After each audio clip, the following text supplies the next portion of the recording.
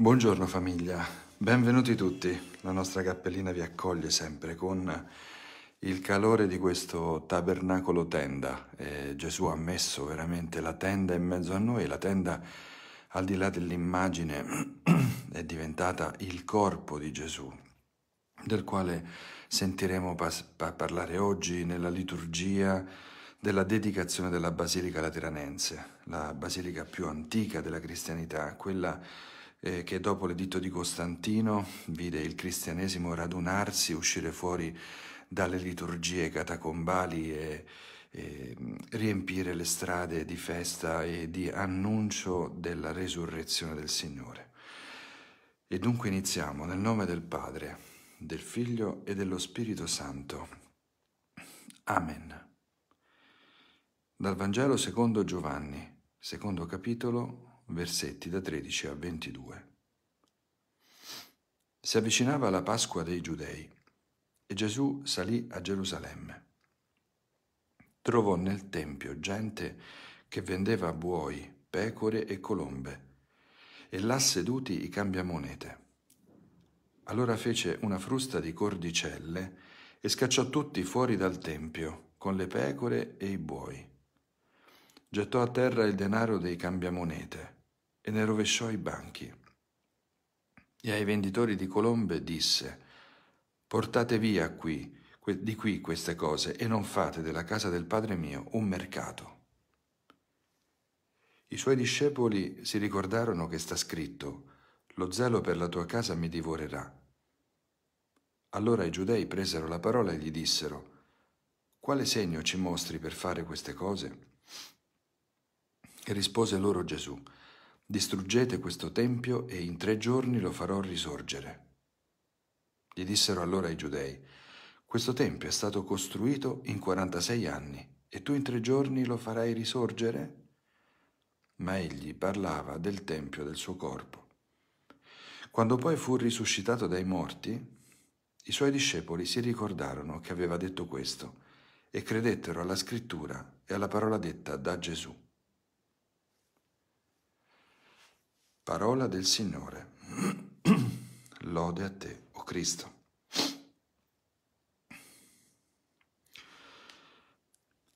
Ecco il Vangelo della cacciata dei mercanti dal Tempio, anzi in verità di tutti quanti, animali compresi, risponde un po' a una domanda.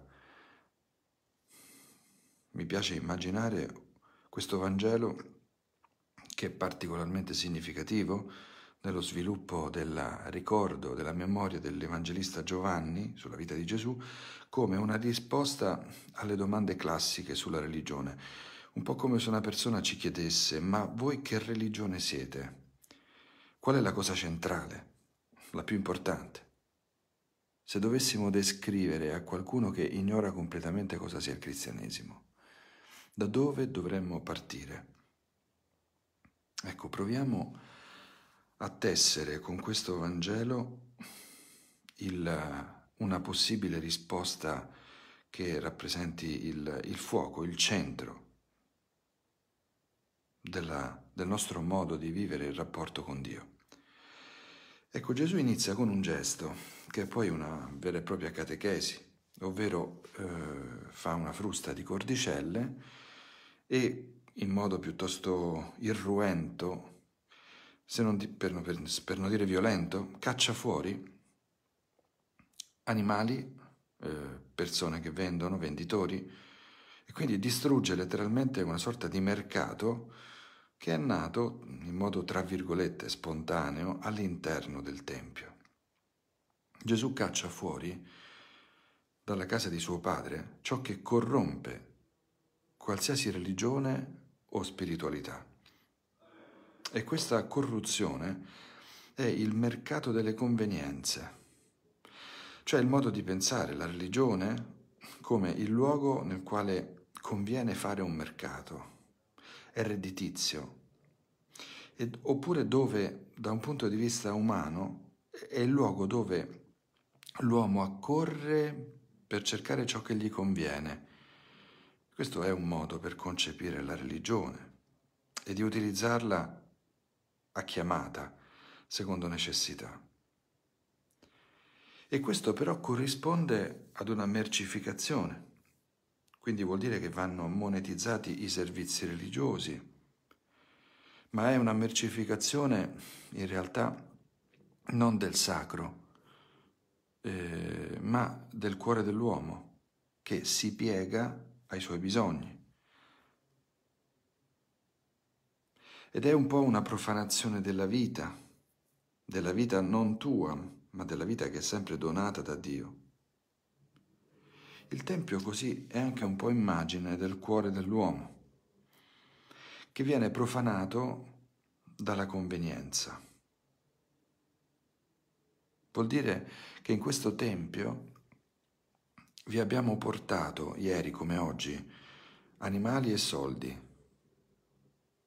il che sarebbe la peggiore delle idolatrie, cioè aver sostituito colui che va contemplato unicamente come datore della vita, con coloro ai quali eh, noi vendiamo la vita e che, che la esigono addirittura, rendendoci schiavi. Questo è il significato profondo di idolatria.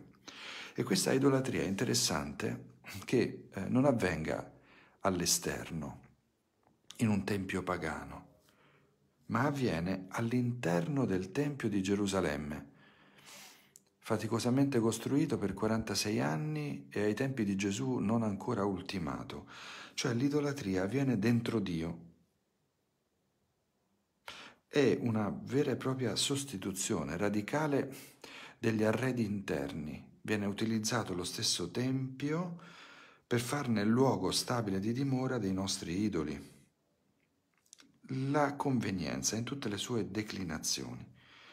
Ecco che Gesù grida, non fate della casa di Dio un mercato. Chi è l'occupante del Tempio? Non siamo noi, con il mercato delle convenienze. L'occupante è il Padre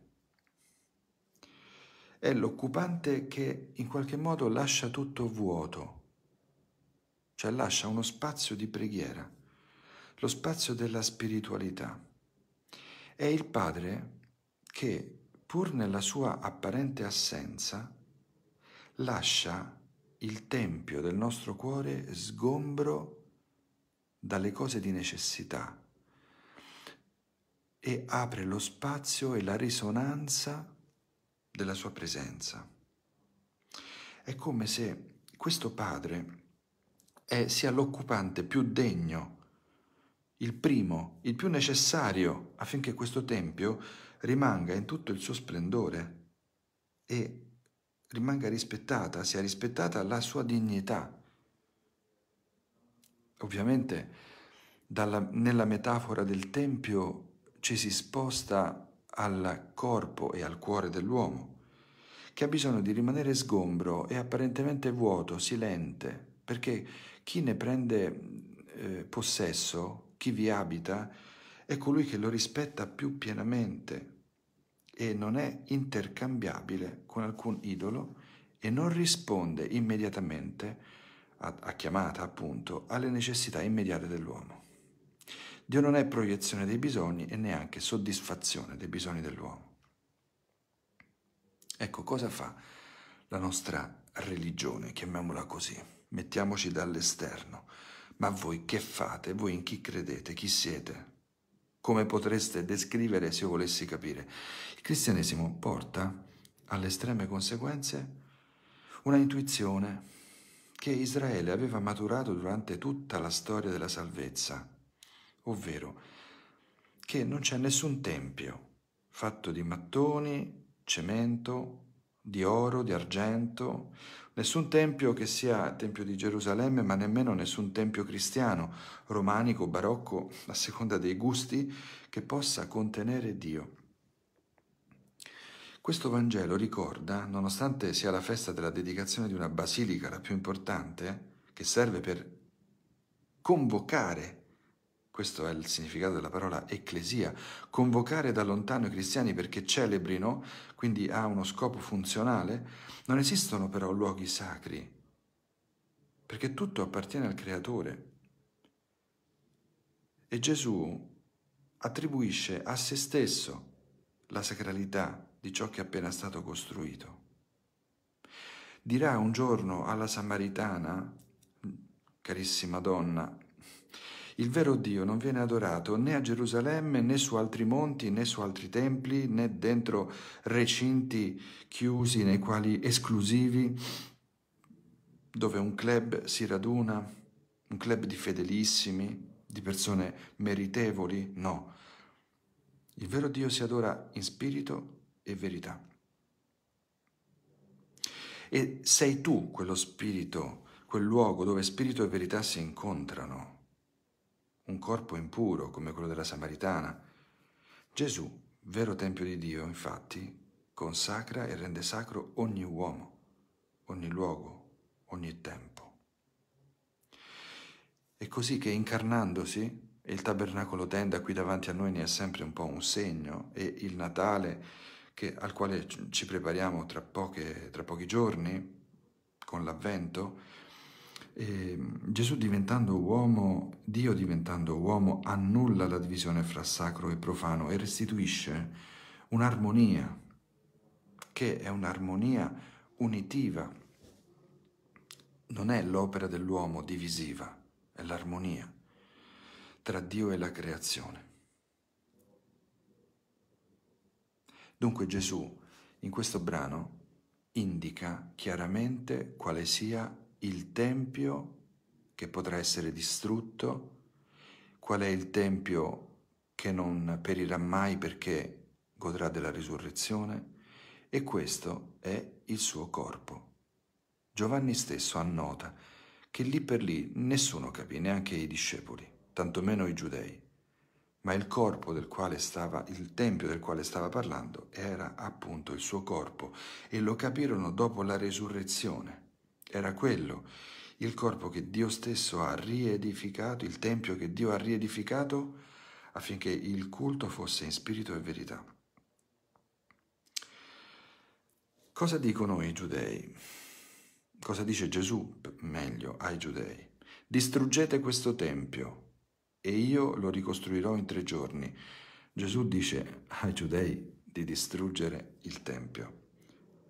Prima ancora che sia finito, tra l'altro, questa deve essere suonata come una provocazione violentissima, con uh, un'ironia terribile che li doveva aver avviliti no, non poco, dopo 46 anni che aspettavano.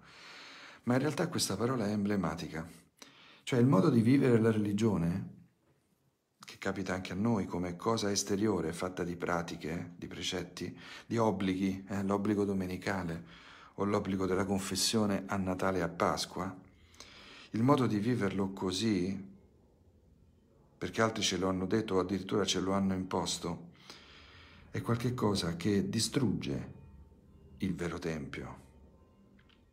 È radicalmente contrario, radicalmente contrario alla vera fede. È un po' come se autodistruggesse da dentro la religione e Gesù gli dice, guardate che distruggete questo tempio come se voi stessi l'avete già distrutto. Il tempio è in piedi, i mattoni sono uno sopra l'altro, va bene.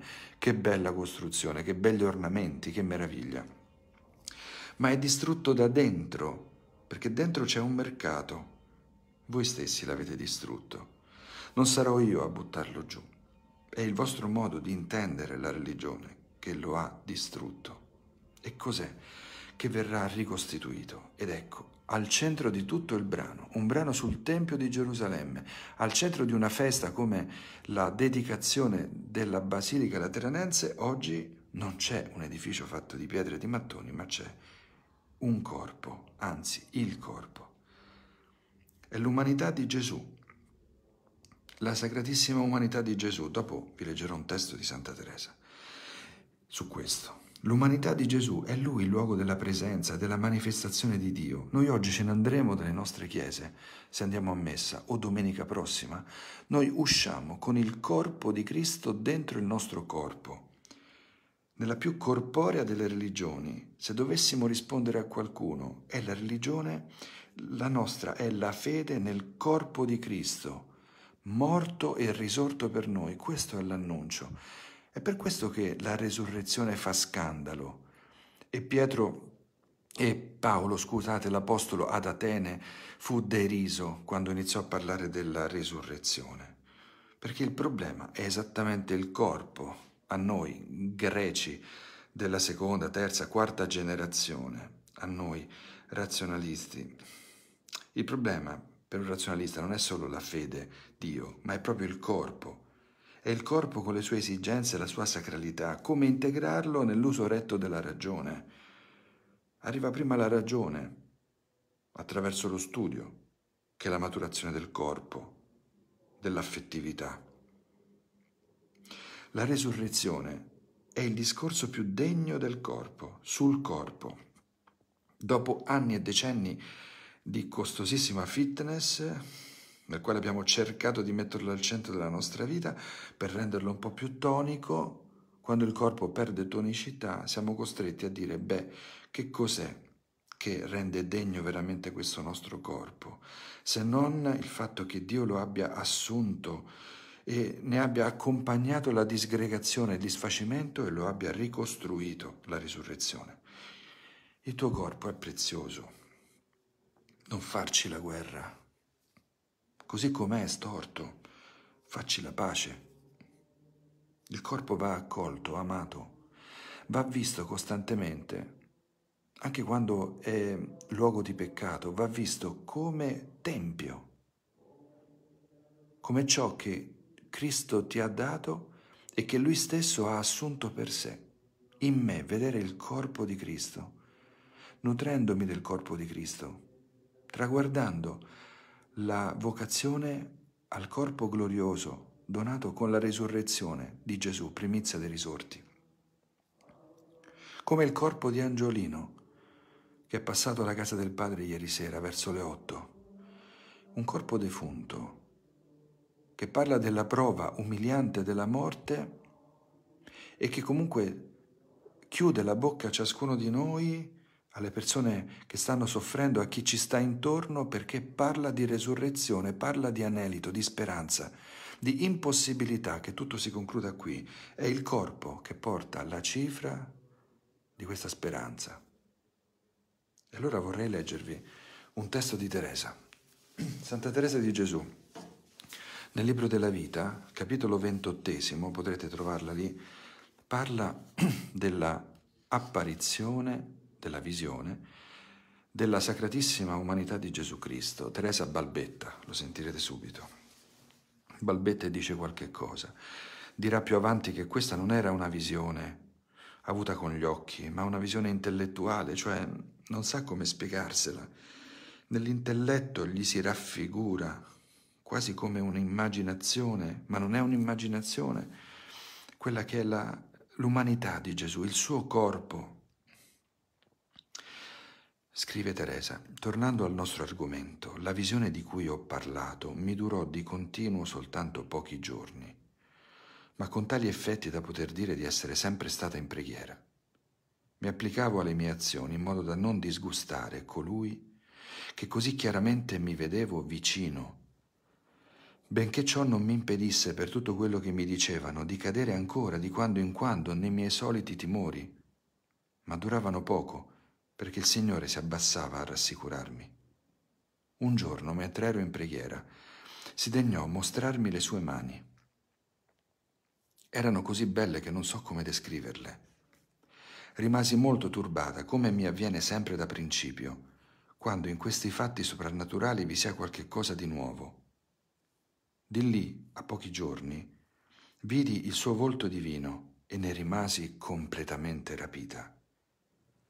Non potevo intanto spiegarmi perché il Signore mi si mostrasse a poco a poco, dato che poi mi doveva dare la grazia di vederlo interamente, ma intesi che così faceva per adattarsi alla mia naturale debolezza. Sia egli per sempre benedetto. No, una creatura così miserabile e vile come me non avrebbe potuto resistere a tanta gloria, se quel Dio di bontà che lo sapeva non mi avesse disposta a poco a poco. Padre mio, le verrà forse da pensare che non ci voglia tanto poi per contemplare due mani e un bellissimo volto, ma i corpi glorificati rifulgono di tanta gloria ed una bellezza così elevatamente soprannaturale che la loro vista sconvolge la ragione. Io me ne rimanevo piena di paura, tutta inquieta e alterata, benché poi non tardassi a sentirmi molto sicura e mi sparisse ogni timore. L'umanità sacratissima di Gesù Cristo mi apparve tutta intera nella festa di San Paolo mentre assistevo alla Santa Messa era in quella forma sotto cui lo si suole dipingere risuscitato, ma di una bellezza e maestà incomparabili. Ecco, Teresa continua, questo capitolo ventottesimo ve ne raccomando la lettura, carissimi amici. Bellissimo. Teresa fa un'esperienza, ma la fa per tutti noi, non è privata come vedete. La scrive, ce la racconta, per dirci che anche se noi non abbiamo questa grazia, Gesù è accanto. È accanto a noi e accanto a noi ci guarda, ci, si fa vedere piano piano. La comunione eucaristica di oggi o dei prossimi giorni, fratelli e sorelle, sia per noi questo segno tangibile della sua presenza. Però rimaniamo in meditazione su questo mistero. Diciamo insieme ora la preghiera che Gesù ci ha insegnato. Padre nostro che sei nei cieli, sia santificato il tuo nome, venga il tuo regno, sia fatta la tua volontà come in cielo, così in terra. Dacci oggi il nostro pane quotidiano e rimetti a noi i nostri debiti, come anche noi li rimettiamo ai nostri debitori, e non abbandonarci alla tentazione, ma liberaci dal male. Il Signore sia con voi. Vi benedica e protegga in questa giornata Dio Onnipotente che è Padre, Figlio e Spirito Santo. Amen. Ecco carissimi amici, arriviamo così ai saluti e mentre i brotes di olivo cantano e ci invitano ad essere fedeli alla verità, la verità che brilla e che è una persona, e vi ricordo che mm, il 27 di novembre ci sarà l'inaugurazione del nostro istituto di spiritualità e sarà la mattina, è un sabato alle 10.30, anche in diretta Facebook su ehm, la pagina di Carmelitani Scalzi dell'Italia Centrale. Buona giornata a tutti voi.